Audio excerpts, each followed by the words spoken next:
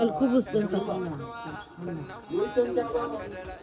me wannan eh ba kira ba Assalamu alaikum everyone. Welcome to this video. Okay from your number one Hajiya Maria Maidola aka Hajiya Mai Kwalam. On today's episode of what I saw in the market.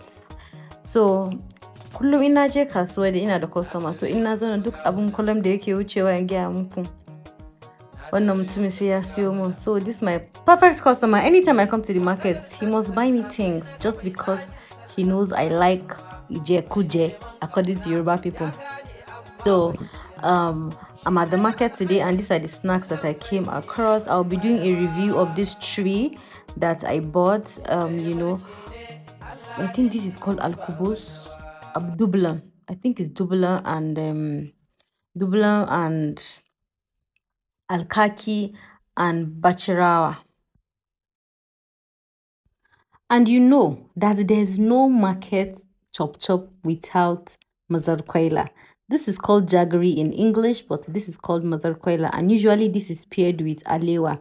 Unfortunately, today I did not get Alewa, so it is only um jaggery or what do you call this? In English, we call it jaggery, but we call it mazarquaila. This is the sweetener I use in my house. I use it to make my zobo.